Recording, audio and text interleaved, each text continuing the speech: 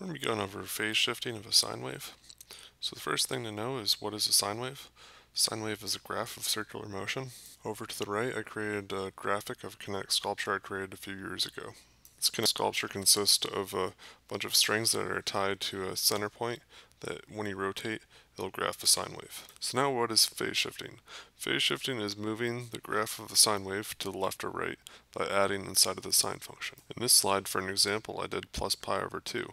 So when we add plus pi over 2 inside of the sine function it shifts all points over but to the left by pi over 2. I have overlaid a unit circle and if you notice the first weight moves along with the sine value. Now if we were to define our y-axis at the second weight, we would find that relative to the first weight, the second weight is pi over 4 ahead of the first weight. All the weights are at a different phase and increments of pi over 4 to the first weight.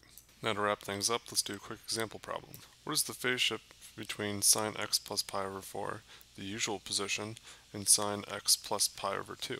The answer is pi over 4, because there's pi over 4 distance between the two functions.